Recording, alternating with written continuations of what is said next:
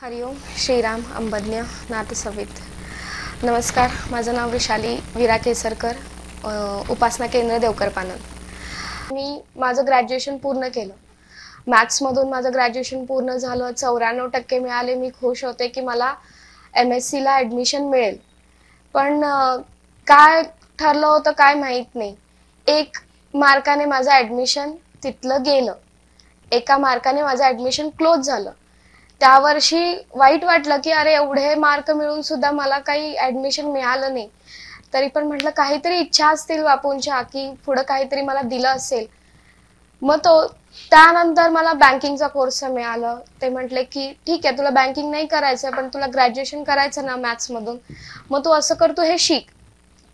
त्या सहा महिन्याच्या ह्याच्यात शिकले. पुढे जाऊन अजून त्याची प्रॅक्टिस केली.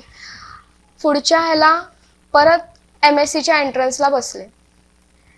भीती वाटत होती की मागच्या वेळेसारखं आत्ता सुद्धा ऍडमिशन गेलं तर काय करणार? घाबरून घाबरून घाबरून परत तसंच झालं की अरे काय करायचं काय करायचं काय करायचं? आई म्हटली चल आपण असं करूया सुचित दादांकडे जाऊन येऊया आणि आपण विचारूया त्यांना काय करायचंय. दादांकडे गेलो. दादांनी सांगितलं की हे बघ एम एस सीला ऍडमिशन मिळालं तर ठीक आहे घे. नाही मिळालं तर पहिला जे काम हातात येईल ते करायचं.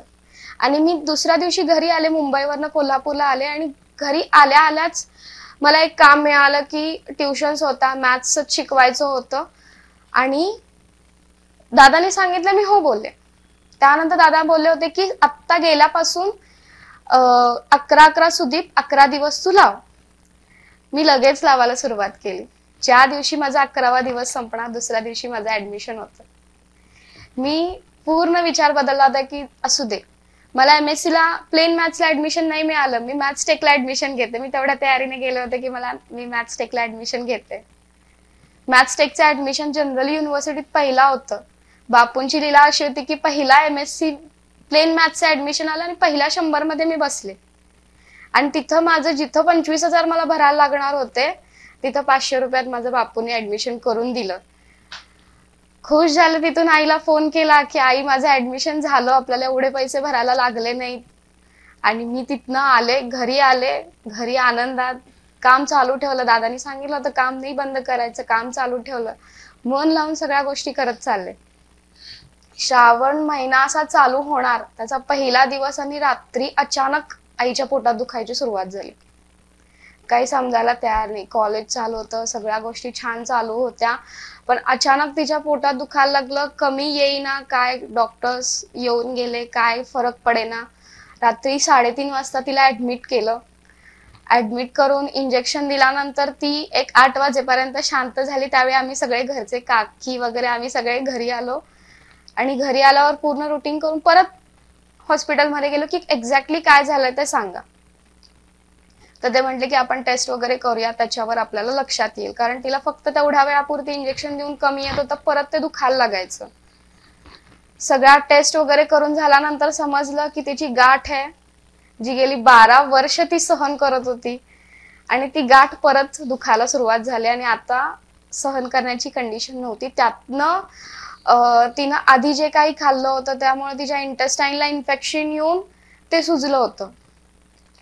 आणखीन भीती बसायला लागली की आता करायचं काय? डॉक्टरच्या केबिनमध्ये जाऊन बसलं म्हटलं सर काही होऊ द्या तिचं ऑपरेशन तुम्ही करा आणि काय असेल ते सगळं मी करते. त्यांनी सांगितलं ठीक आहे असं करा पंचवीस हजार रुपये आपल्याला खर्च येईल. जे पंचवीस हजार माझ्या ऍडमिशन मधनं कॅन्सल झाले होते त्या ऍडमिशनचे पैसे बापूंनी सेव्ह करून मला इथं वापरायला दिले. डोळ्यातनं बाहेर आलं तसं पाणी आलं की खरंच तो मार्ग माझ्यासाठी योग्य होता म्हणून मला तिथं त्यांनी थांबवलं होतं. एक वर्ष माझं वाया नाही जाऊ दिलं. शिकवलं. त्यातही बापूंनी मला शिकवलं. मला मॅथ्सच्या वेगवेगळ्या गोष्टी शिकवायला लावल्या. वेगवेगळे अनुभव घ्यायला लावले. एक वर्ष जॉब करायला लावले. सगळे अनुभव मला बापूंनी दिले. आणि ज्यावेळी हॉस्पिटलमध्ये जाऊन बोलायची वेळ आली त्यावेळेला बाबां थोडे घाबरले होते की एकदम ऑपरेशनचं डॉक्टरशी कसं बोलायचं? त्यावेळेला माझीच पर्सनॅलिटी बापूंनी अशी तयार करून दिली होती की मी जाऊन व्यवस्थित तिथं बोलू शकले की नाही तुम्ही करा मी सगळी तयारी करायला तयार आहे. आईचं ऑपरेशन झालं आणि ज्या दिवशी ऑपरेशन झालं त्याच्या बरोबर दुसऱ्या दिवशी कोल्हापूरमध्ये महापूर आला. पूर आल्यानंतर त्या हॉस्पिटलमधल्या सगळ्या लाईट्स गेल्या. ज्या त्या दिवशीचे सगळे ऑपरेशन्स होते. ते पोस्टपॉन झाले की बापूंनी आधीच तिच्यासाठी हे सगळं करून ठेवलेलं होतं. ती बरी झाली घरी आली. घरी आल्यानंतर आम्ही आता म्हटलं की झालं आपल्यावरची सगळी संकट बापूंनी दूर केली. आणि आता म्हटलं की ठीक आहे ती रिकवर झाले आता एका आठवड्यानं जायला चालू करायचं आपण कॉलेजला पण बरोबर एका आठवड्यात बाबांना मायनर अटॅक आला. त्यांना हॉस्पिटलमध्ये रात्री अचानक हलवल्या गेलं. त्यावेळी आईच्या सिच्युएशनला बाबा फॉर्म होते पाठीशी. बाबांच्या सिच्युएशनला घाबरले होते. माझे काका माझ्या सोबत होते पूर्ण वेळ. माझे घरचे आमची जॉईंट फॅमिली असल्यामुळे तो एक मोठा आधार होता की आम्ही सगळे एकत्र होतो. की सगळे काका काकी माझी दोन्ही भावंड ही तिथं एकत्रपणे आम्ही सगळ्या गोष्टी फेस करत होतो. पण त्यांनी डॉक्टरनी ज्यावेळी सांगितलं बहात्तर तास आम्ही काही सांगू शकत नाही. कारण स्ट्रोक येण्याचे चान्सेस या बहात्तर तासामध्ये जास्त असतात. हे ऐकल्यानंतर आमच्या हातापायातले सगळे त्राण गेले होते. काय करायचं? असं का व्हा लागलंय? हा श्रावण महिना की आमचा काय बरोबर जाईना झालाय बघा बापू. तुम्ही काय काय आहे तुम्हाला नक्की काय सांगायचं आम्हाला? सगळं एन्जिओप्लास्टी एन्जिओग्राफी झाली. एन्जिओग्राफी नंतर तो रिपोर्ट बघितला. रिपोर्टमध्ये आम्हाला पहिला डॉक्टरनी सांगितलं होतं की फक्त वीस टक्क्याचं ब्लॉकेज आहे. काही टेन्शन घ्यायचं कारण नाही. एन्जिओप्लास्टी करू आपण रिकवर होऊ. नशिबानं आम्हाला काय शिकवलं होतं आधी कॉलेजमध्ये की आपले रिपोर्ट्स आपल्याला वाचता आले पाहिजे. आपल्याला बापूनही सांगितलं की आपले बेसिक रिपोर्ट आपल्याला वाचता आले पाहिजेत. त्याच्यात ज्यावेळी रिपोर्ट स्वतःहून वाचला त्यावेळी कळालं अरे हे ट्वेंटी पर्सेंटचं नाहीये मेन अल्टरीला लेफ्ट साईडच्या मेन अल्टरीला नाईन्टी फाय पर्सेंटचं ब्लॉकेज होतं.